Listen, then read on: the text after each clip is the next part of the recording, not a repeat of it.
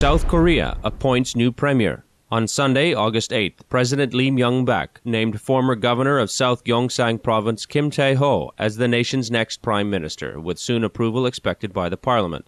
As the youngest member of the cabinet in almost four decades, Premier Kim will be at the forefront of communication with responsibilities that include maintaining closer relations between the government and the public, especially the younger generation, as well as to support President Lee's reform projects. Prime Minister Kim, we respectfully congratulate your new post, wishing your term in office the highest success in attaining national and fellow citizens' noble goals.